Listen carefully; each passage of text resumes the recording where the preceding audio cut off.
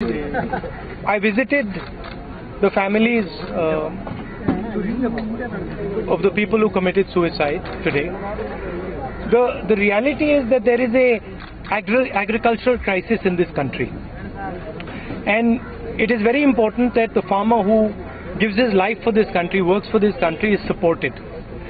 Uh, we've had discussions uh, with the chief minister and the other uh, ministers, as you mentioned, and we have some ideas on what we are going to do, which the chief minister uh, will announce tomorrow at our public meeting. The sad part is that the support that the central government should be giving to the state is missing. Uh, they've got demands that the state has made on the central government that are not really taken seriously. And this, the central government does not seem to think agriculture or the Kisan is important. Uh, whether it's the issue of MSP, whether it is the issue of Ola or bad weather, crops being destroyed as a result of weather, the government does not seem to have a strategy, does not seem to give priority to the Kisan. And this is a very unfortunate thing. Uh, farmers are committing suicide in large numbers. Uh, the central government needs to do something about it, and the Prime Minister needs to take a look at this and help the Kisan of this country. No, There is a question, this Rajat. Sir, there is discrimination is another only question, for the Congress ruled states. When, Absolutely. when, when it comes to Maharashtra, Absolutely. they were given it. Absolutely, absolutely. Any state that is uh, Congress ruled or uh, they have a different policy. Central They, by see, uh, when the UPA was in government, uh, we viewed the Indian farmer as the Indian farmer.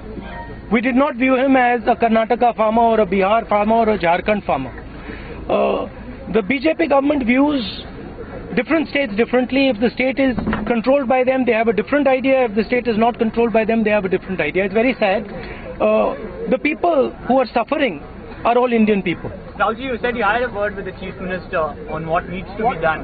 Is it the loan waiver that uh, you're talking about? Loan There is a waiver? lot of pressure on the The, government. it, it is. Uh, we have discussed a strategy that uh, we are going to implement. It is not just one thing, it is a number of things that we are going to do. We are going to try and support uh, the Kisan in uh, Karnataka and we are going to try and help him. Sir, He's in, he's in trouble. Uh, I'll just finish. Uh, so it's not just one simple thing, it's a, uh, a number of things that we're looking at. Raj, there are farmers who are Rahul, there are farmers who are Rahul ji. protesting in Karnataka, and what they're saying is that it's irrespective of whether it's the BJP government or Congress government, farmers are committing suicide. And they're tracing the origin of this crisis to the neoliberal policies that were started by the Congress government. How do you see this?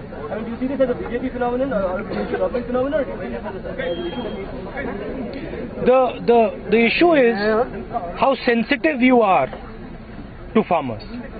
Farmers are struggling. When the Congress government was in power, when the UPA government was in power, we supported them. We helped them with 70,000 crore loan waiver. We maintained an an MSP. We ensured that whatever troubles were going through, they were going through. They felt supported and they were supported by the government. So that is what is lacking in this government. Uh, our Prime Minister goes everywhere. He goes to the United States. He goes to different countries. Maybe he should spend some time with the farmers of this country, with the farmers of Karnataka. Thank you very much. Raoji, one question Sir, on sir, Bihar. last question. Sir, Modi has opened his mouth on this. Uh, what's your reaction? Rahul ji सिर्फ एक minute दीजिएगा please One Bihar question, Bihar से Raoji. एक No, I'm in Karnataka. I'm in sir उन्होंने Karnataka. बोला है कि आपके साथ स्टेज शेयर नहीं करना चाह रहे हैं लालू प्रसाद यादव जी नहीं हाँ, ऐसी बात आपके साथ थे फिर भी उन्होंने बोल रहे हैं कि आपके साथ